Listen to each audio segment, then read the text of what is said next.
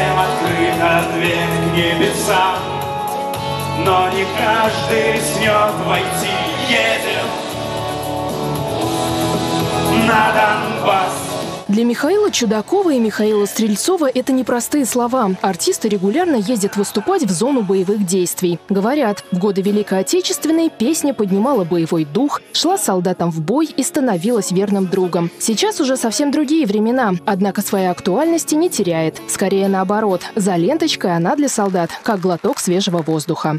Тылу мы рассказываем о фронте, фронту мы рассказываем о тыле в такой вот музыкально-поэтической форме, делаем песни-репортажи, ну, очень э, похожие по своей сути на творчество Владимира Высоцкого, Юрия Висбора, которые были непревзойденными мастерами именно этого жанра. Очень много стихов и песен других поэтов из Самары, из Тольятти, из Москвы также э, отзываются в наших душах, наши песни отзываются в их душах, и вместе мы даем такой накал зрительскому залу, э, что под конец просто зрители встают, аплодируют, подпевают, зажигают фонарики на телефонах. Действительно, это не пафос.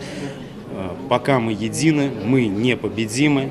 Вместе мы сила, победа будет за нами. В Самаре стартовал патриотический фестиваль бардовской песни «За победу». На протяжении двух недель на площадках региона пройдут концерты творческих коллективов. Артисты из Москвы, Самары, Нижнего Новгорода и Санкт-Петербурга исполнят военные песни и прочитают стихи. Песня всегда была и остается одним из главных средств укрепления души настоящего воина, который сидит в окопе, ему холодно, у него настроение не очень хорошее, да, но он понимает четко, да, что вот ты как в 41 году, э, политрук Клочков, за нами земли нет. Организаторы отмечают, важно с ранних лет воспитывать молодежь в духе патриотизма. И творчество этому способствует. Мы выезжаем в школы, э, поем эти песни там, рассказываем им и о той ситуации, которая происходит сейчас в стране, и за рубежом, и о целях нашей специальной военной операции, то есть о мужестве и подвиге наших героев. Завершится фестиваль 23 февраля большим гала-концертом. Здравствуй, здравствуй,